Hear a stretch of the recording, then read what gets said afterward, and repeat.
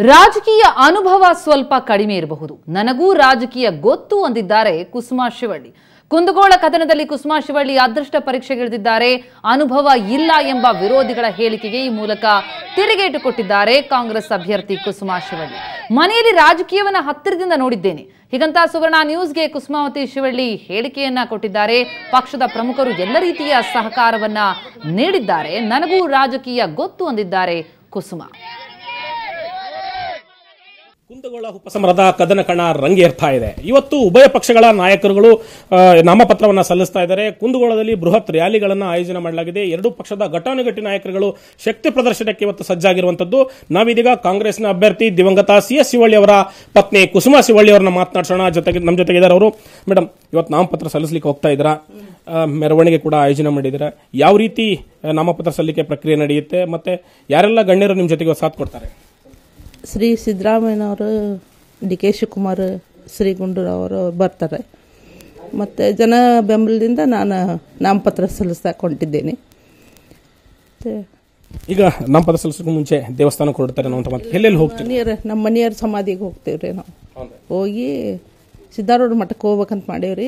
Time ಇದ್ರೆ ಹೋಗ್ತೇವ್ರಿ ಇಲ್ಲಾಂತಂದ್ರೆ ನಮ್ಮ ಮನೆಯವ್ರ ಸಮಾಧಿಗೆ ಹೋಗಿ ಎತ್ತಾಗ ಹೋಗ್ತೇವೆ ಮೇಡಮ್ ಶಿವಳ್ಳಿಯವರು ಇದ್ದಾಗ ನೀವು ನೇರವಾಗಿ ಎಲ್ಲಿ ರಾಜಕೀಯದಲ್ಲಿ ಭಾಗವಹಿಸಿಲ್ಲ ರಾಜಕೀಯ ಅನುಭವ ಇಲ್ಲ ಅನ್ನುವಂಥದ್ದು.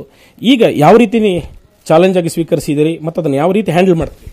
ಇಲ್ರಿ ಒಂದು ಸ್ವಲ್ಪ ಸ್ವಲ್ಪ ಗೊತ್ತಿತ್ತು ರೀ ನನಗೆ. ಮೊದಲೇ ಇದನ್ನು ಅವರು ಇಲ್ಲೆಲ್ಲ ಮನ್ಯಾಗ ಬರೋದು ಹೋಗೋದು ಒಂದು ಸ್ವಲ್ಪ ಒಡನಾಟ ಇತ್ತು ರೀ ಅಷ್ಟೇನು ತೀರಾ ಅತಿ ಏನು ಗೊತ್ತಿಲ್ಲ ಅನ್ನಂಗಿಲ್ಲ ಒಂದು ಸ್ವಲ್ಪ ಗೊತ್ತೈತ್ರಿ. ನಿಭಾಯಿಸ್ತಾರಲ್ಲ ಅಂದರೆ ಯಾವುದೇ ರೀತಿ ತೊಂದರೆ ಆಗಲ್ಲ ಈ ಚುನಾವಣೆ ಎದುರಿಸಲಿಕ್ಕೆ? ಇಲ್ಲ ಇಲ್ಲ ಎಲ್ಲ ಜನ ಬೆಂಬಲ ಐತಲ್ರಿ. ಜನ ಬೆಂಬಲ ವರಿಷ್ಠರು ಎಲ್ಲಾರು ಮುಖಂಡರು ಎಲ್ಲಾರು ನಿಂತು ಮಾಡಾಕತ್ತಾರ. ಈಗ ಪಕ್ಷದಲ್ಲಿ ನಿಮ್ಮ ಪಕ್ಷದ ಮುಖಂಡರು ಕೆಲವು ಕುರುಬ ಸಮಾಜದ ಮುಖಂಡರು ಹೈಂದ ಮುಖಂಡರು ಕುಂದಗೋಳದಲ್ಲೆಲ್ಲ ಮನೆ ಸುದ್ದಿಗೋಷ್ಠಿ ಮಾಡಿ ಹೇಳಿದ್ರು. ಕುಸುಮ ಶಿವಳ್ಳಿ ಅವರಿಗೆ ಅನುಭವ ಇಲ್ಲ ರಾಜಕೀಯವಾಗಿ ಅವರಿಗೆ ಟಿಕೆಟ್ ಕೊಡಬೇಡಿ ಅನ್ನುವಂಥ ಮತ್ತೆ ಏಕಪಕ್ಷವಾಗಿ ನಿರ್ಧಾರ ತೆಗೆದುಕೊಂಡಿರಿ ಅಂತೇಳಿ ನಿನ್ನೆ ಜಾರಕಿಹೊಳಿ ಅವರು ಬಂದಾಗ ಕೂಡ ಅಸಮಾಧಾನ ವ್ಯಕ್ತಪಡಿಸಿದ್ರು. ಶಿವಾನಂದ್ ಬೆಂತೂರ್ ಈ ಥರ ಎಲ್ಲ ಮುಖಂಡರುಗಳು. ಏನು ಹೇಳ್ತೀರಾ ಅವರಿಗೆ? ಇಲ್ಲ ರೀ ಅಸಮಾಧಾನ ಏನಿಲ್ಲ. ಸರಿ ಆಗೈತ್ರಿ ಅದು. ಅವ್ರನ್ನೆಲ್ಲ ಸರಿ ಮಾಡ್ಯಾರ್ರಿ ಜಾರಕಿಹೊಳಿ ಅವರು ಸರಿ ಮಾಡ್ಯಾರ್ರಿ. ಅಸಮಾಧಾನ ಏನಿಲ್ಲ.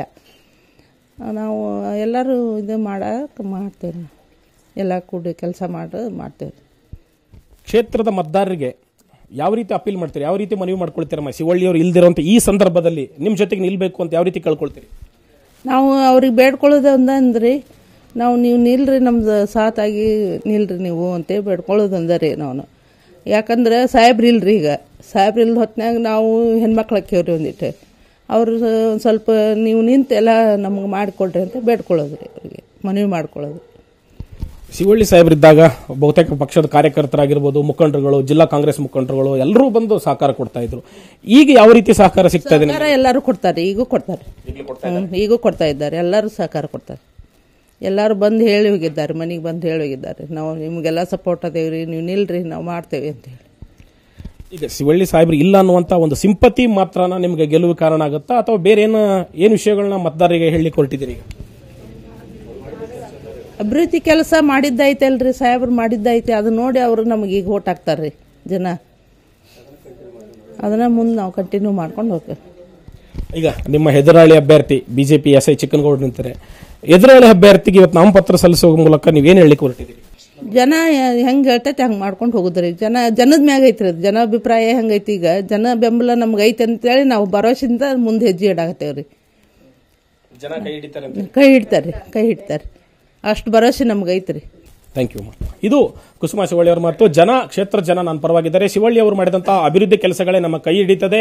ಖಂಡಿತವಾಗಿ ಈ ಕ್ಷೇತ್ರದಿಂದ ಜಯಬೇರಿ ಬಾರಿಸ್ತೇನೆ. ಮತ್ತೆ ಅವರು ಮಾಡಬೇಕಾದಂತಹ ಕೆಲಸಗಳೇನಿದ್ದು ಅವೆಲ್ಲವುಗಳನ್ನು ಕೂಡ ನಾನು ಮುಂದುವರ್ಸ್ಕೊಂಡು ಹೋಗ್ತೇನೆ ಅನ್ನುವಂತ ವಿಶ್ವಾಸವನ್ನ ವ್ಯಕ್ತಪಡಿಸ್ತಾ ಇದ್ದಾರೆ. ಹುಬ್ಬಳ್ಳಿಯಿಂದ ಕ್ಯಾಮರಾಮನ್ ಆನಂದ್ ಜೊತೆ ಗುರುರಾಜ್ ಉಗಾರ್ ಸುವರ್ಣ ನ್ಯೂಸ್.